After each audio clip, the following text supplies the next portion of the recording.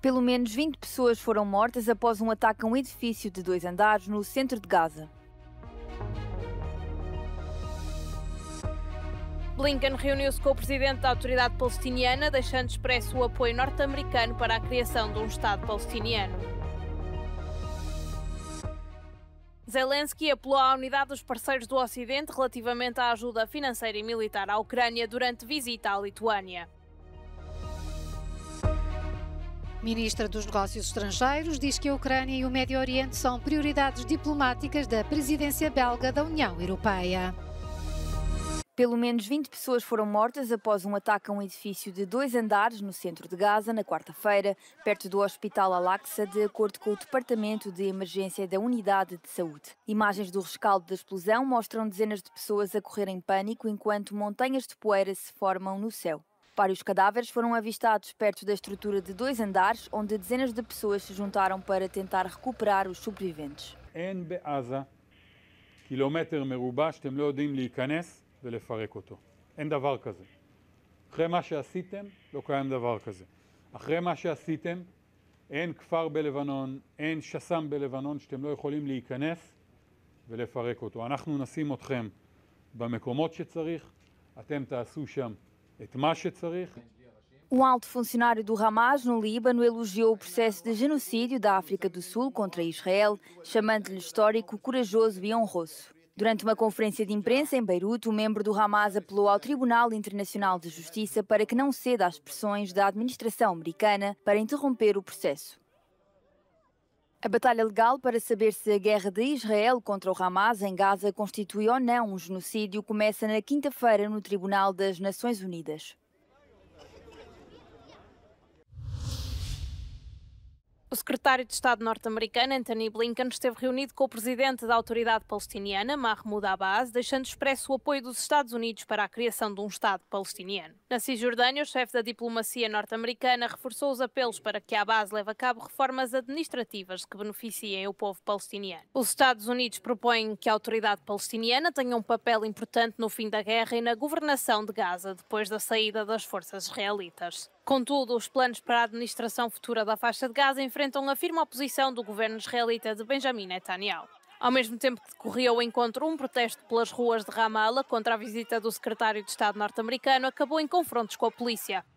O encontro de Blinken com a base enquadra-se numa série de contactos diplomáticos que os Estados Unidos têm estado a estabelecer no Médio Oriente para tentar evitar uma escalada da guerra na faixa de Gaza. Os combates continuam a agravar a crise humanitária no território sitiado. Um ataque aéreo israelita na madrugada de quarta-feira atingiu um prédio de quatro andares ao oeste da cidade de Rafah. Pelo menos 14 pessoas foram mortas e cerca de 20 ficaram feridas.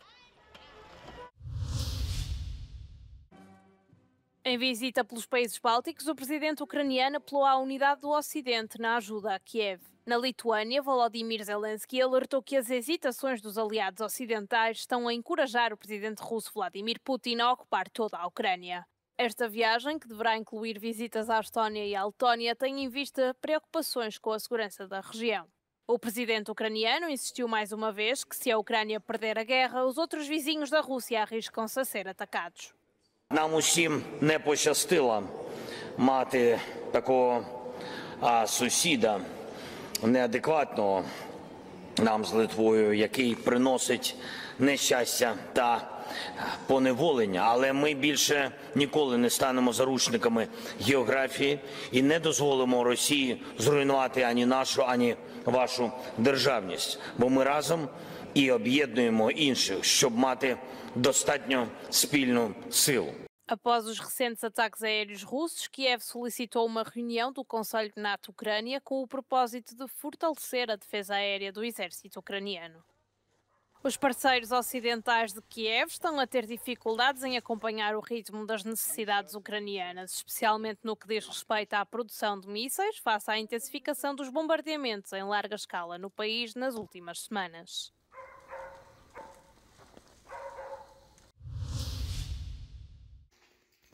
Alexei Navalny foi visto pela primeira vez desde que foi transferido para uma prisão de alta segurança no Ártico Russo em dezembro do ano passado.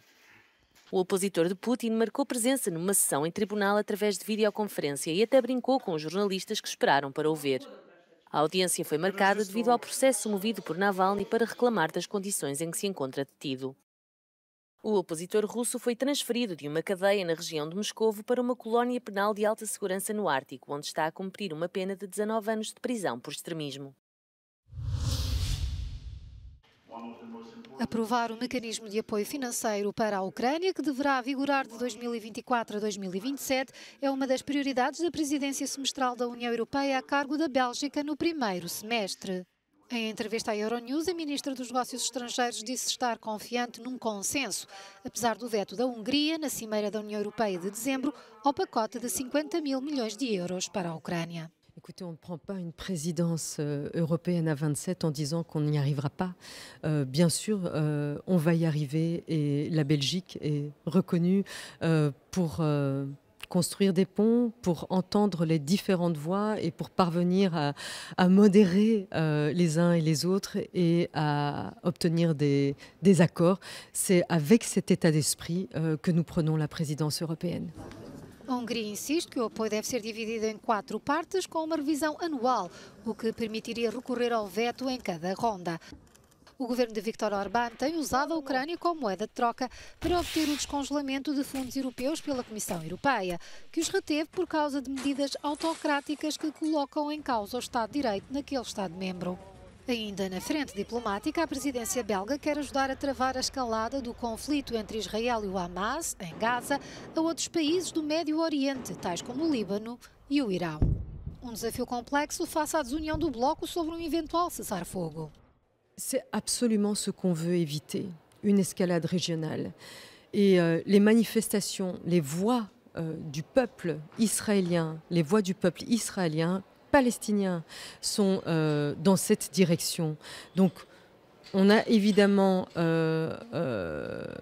en horreur ce qu'il se passe aujourd'hui au Middle East, au Proche-Orient.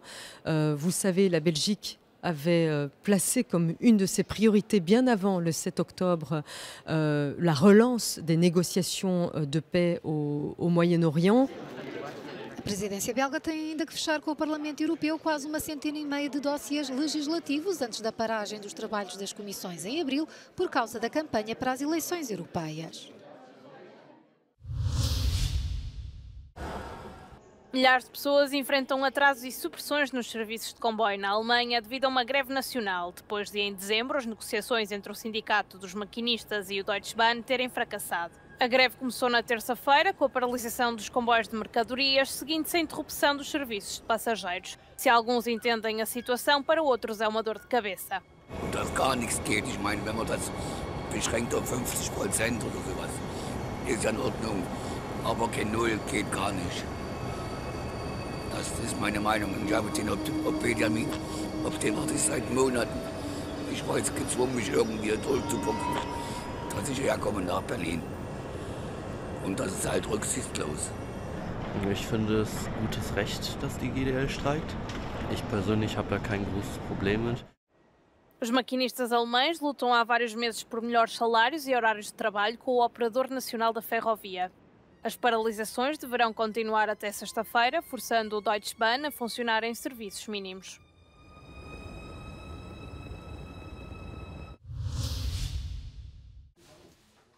O aumento do número de casos de gripe, Covid-19 e outras infecções respiratórias levou o Ministério da Saúde espanhol a decidir impor o uso de máscara nos hospitais e centros de saúde a partir de quarta-feira.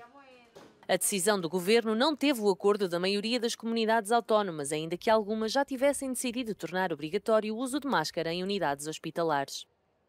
Perante a pressão no sistema de saúde, o governo espanhol está também a estudar uma medida semelhante à já implementada em Portugal, que prevê que a baixa médica possa ser substituída por uma autodeclaração de doença. As forças norte-americanas e britânicas abateram 18 drones e 3 mísseis disparados pelos rebeldes Houthis no Mar Vermelho. Os rebeldes do Iémen estão há vários meses a atacar navios de transporte de mercadorias que se aproximam do canal de Suez em retaliação à ofensiva de Israel em Gaza. Segundo os Estados Unidos, não houve danos ou feridos em resultado destes últimos ataques. Washington já veio garantir que as investidas dos rebeldes iemenitas apoiados pelo Irão terão consequências. Houthis have received both support and weaponry from Iran as that war has gone on. Recently, though, the Houthis have begun launching attacks targeting ships in the Red Sea. The rebels say this is to support Palestinians stuck in the Gaza Strip amid Israel's war on Hamas, though many of the ships that they've been attacking don't have any clear links to Israel. Os rebeldes do Iêmen negam estar a lançar ataques encomendados pelo Irão. Em entrevista à Euronews, um porta-voz dos Houthis garantiu que os rebeldes tinham apenas como alvo os navios ligados a Israel. أعلنت صنعاء بشكل واضح أن السفن الإسرائيلية أو المتجهة إلى إسرائيل أو التي لها علاقة بإسرائيل هي المستهدفة فقط. بقية سفن العالم بلا استثناء ليست مستهدفة. ولذلك أمريكا لم تستطع أن تقنع العالم أن هناك مخاطر حقيقية تستهدف البحر الأحمر فالممرات الدولية آمنة ومستقرة ولا يوجد فيها أي مشاكل Os recentes ataques ocorreram numa altura em que o Conselho de Segurança da ONU se prepara para votar um projeto de resolução condenando as ações dos rebeldes iemenitas e exigindo a suspensão imediata dos ataques aos navios. A resolução também exige a libertação imediata do cargueiro Galaxy Leader, que foi sequestrado em novembro juntamente com a tripulação.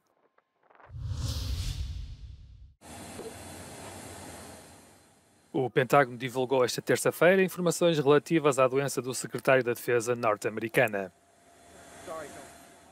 Aos 70 anos, Lloyd Austin foi diagnosticado com cancro na próstata no início de dezembro.